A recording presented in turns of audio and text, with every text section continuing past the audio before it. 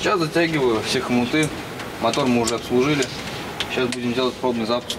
Именно этот УАЗ, в простонародье «Буханка», уже в ближайшее время отправится в зону СВО. По запросам военнослужащих автомобиль был доработан под военные условия. Последние 10 лет автомобиль провел на заднем дворе авиационного колледжа и не использовался. Инициаторами восстановления «Буханки» выступили студенты. Руководство колледжа поддержало данную идею. Автомобиль переварили, покрасили и подготовили к эксплуатации. Мы, э, соответственно, провели полное э, техническое обслуживание его, потому что он 10 лет стоял, то есть, соответственно, это нужно было заменить там все масла, фильтра, обслужить тормозную систему в автомобиле, э, проверить работу всех лампочек, то есть, ну, соответственно, провели обслуживание самого двигателя. Работали над автомобилем в свободное от учебы время. Восстановлением буханки занималось 13 студентов. Вместе с машиной уже по традиции отправят и печки-буржуйки. Их изготовление уже начали. Делают все на совесть. Сначала изучают чертеж, затем подготавливают металл и получается готовый продукт. У нас уже в планах есть, наверное, порядка 10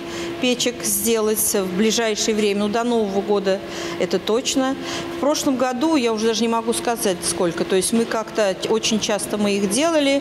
И, наверное, ну, порядка тоже 10-12 печей в прошлом году в зимний период мы отправили. Стоит отметить, авиационный колледж с первых дней специальной военной операции активно оказывает поддержку нашим военнослужащим. Кирилл Савосин, Марат Мигдиев, Управда ТВ.